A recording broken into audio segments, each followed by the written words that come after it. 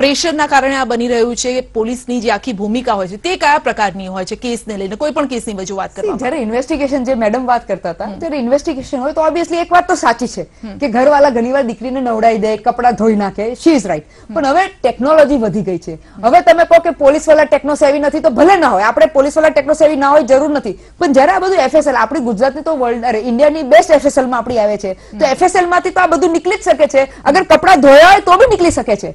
અગર સિમેન્ટ બી આડું બાડું હોય તો બી નીકળી શકે છે. બીજી વાત તમે નિર્ભયાના જ કેસમાં જુઓ તો એટલા હદ સુધી પેલા લોકોએ ડીએનએ કર્યું હતું જોડે પેલા નખરિયા વાગ્યા હતા તો પેલાના નખરા સેમ્પલ લીધા અહીંયાથી સ્કિનના સેમ્પલ લીધા અને પ્રૂવ કર્યું કે નખરિયા પેલા એના હતા જે બી કલ્પિટ ધારે તો કંઈ પણ કરી શકાય છે. થાય છે. એટલે તમે આટલી બધી આપણે વી આર ટેકનિકલી વેરી સેવી ને એમાં પોલીસ ને પણ પોલીસની જે ગાઈડલાઇન્સ છે એ લોકોને શીખવાડવામાં આવે છે એ લોકોને ભણાવવામાં આવે છે. એ લોકોને કાલે એવું નથી કે દંડા ઠોકવાના યા દાદાગીરી કરવાની છે. This is what they are ટોટ એટલે જ્યારે ઇન્વેસ્ટિગેશન નો અભાવ થાય છે અને એટલે આખો કેસ લૂઝ થઈ જાય છે અને અનફોર્ચ્યુનેટલી આપણી સિસ્ટમ એવું નથી કે જ્યારે ઇન્વેસ્ટિગેશન ઓફિસર તમે તો કહો કે બિચારાને ખબર નહોતી પણ ના ચાલે. તમે કોઈકની લાઈફ સાથે રમો છો. એટલે અગર ઇન્વેસ્ટિગેશન ઓફિસર આવું લૂઝ ઇન્વેસ્ટિગેશન કરે તો ખાલી કોર્ટ એને ખકડાવો ના જોઈએ. મેં ઘણા કેસીસમાં જોયું છે જજો ખકડાવે છે. પણ બિચારા કઈ નથી કરી શકતા. ઉલટી ઇન્વેસ્ટિગેશન ઓફિસરને કોઈક સજા થવી જોઈએ. કોઈક સસ્પેન્શન થવું જોઈએ કે તે હત્યા કરીને કેસ બગાડી